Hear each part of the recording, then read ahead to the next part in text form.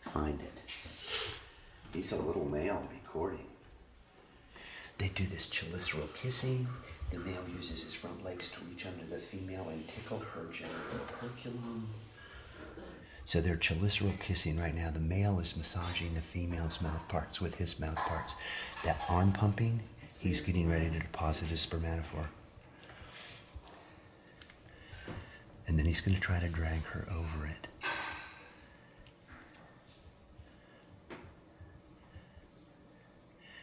And she she has to accept it. She can refuse to accept it, in which case this courtship is just for nil, right? You see it? That little see this little arm? Oh, I think I see the spermatophore. She's over it. But I don't think she's taken it yet. Oh, she didn't she didn't take it.